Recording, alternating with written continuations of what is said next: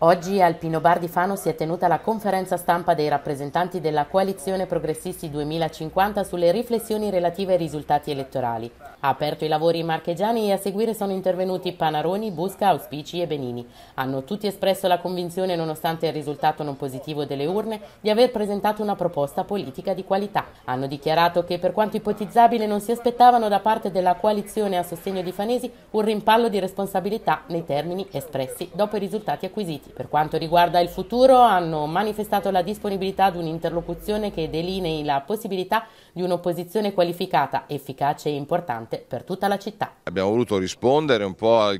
commenti nervosi della primora di Cristian Fanesi, che io conosco come persona in genere più posata, perché non vale la pena in una campagna elettorale che io giudico molto corretta e di questo ringrazio anche sia Ser Filippi che Fanesi stesso, qualche tono di asprezza agli ultimi giorni non si può stigmatizzare come comportamento idiota, come è stato detto, eh, del fronte progressista che credo abbia dimostrato sempre un atteggiamento costruttivo e propositivo nei discorsi che abbiamo fatto anche per servizio ai cittadini. Detto questo, la conferenza di oggi ci ha impegnati a fare un lavoro in Consiglio Comunale costruttivo, non diremo no per il no, ma diremo sempre eventualmente le cose che non ci convincono come pensiamo di risolvere, voteremo a favore di cose positive evidentemente, eh, ci attendiamo ovviamente che le cose promesse vengano realizzate, ma mm, spingeremo anche delle battaglie che ci hanno caratterizzati con il nostro programma, evidentemente come deve fare una forza di opposizione con mozioni e proposte e cercheremo di creare un ponte fattivo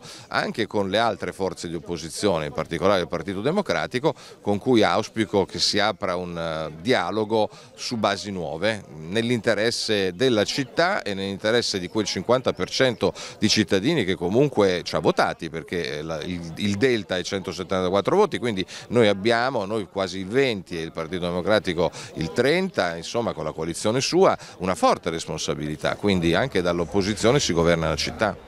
L'opposizione, parlo per il Movimento 5 Stelle, sarà sempre un'opposizione concentrata sui temi, sulla sostanza delle questioni. Io sono la faccia del Movimento 5 Stelle in Consiglio Comunale, però alle mie spalle c'è, oltre alle persone che ci hanno votato, anche un gruppo di attivisti che entrano nel merito varie, dei vari argomenti, perché ovviamente io non posso essere un tuttologo. Abbiamo persone che si occuperanno di economia, di finanza, di scuole, eccetera, per cui quando ci saranno determinati argomenti, determinate scelte, determinate votazioni da fare in Consiglio Consiglio Comunale, lo faremo in maniera collegiale con il mio gruppo. Poi con gli altri dell'opposizione noi siamo aperti a tutti, apriamo il dialogo con tutti, ricordiamo sempre che in passato abbiamo anche votato delle proposte sia della maggioranza sia della destra, perché se nel merito ci sembrano degli argomenti votabili e giusti, noi li votiamo, perché cerchiamo sempre di fare un'opposizione decisa eh, ma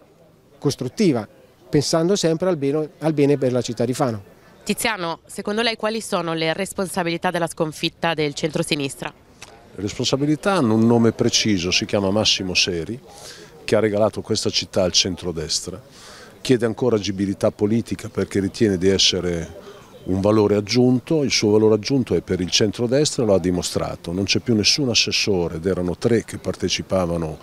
al suo progetto politico che non sono nemmeno diventati consiglieri comunali, così come tutto il gruppo delle liste civiche che anziché sostenere la candidatura di Marchegiani, di cui lui fa parte come partito di azione, ha fatto sì che sostenessero la lista di eh, Fanesi che era il competitor di Marchegiani, quindi ha giocato su tre tavoli e non ha portato a casa nemmeno una gamba. Mi dispiace ma questo è il risultato della politica e quando uno dice che è un valore aggiunto si coglie il significato per il centrodestra perché il centrodestra governerà Fano.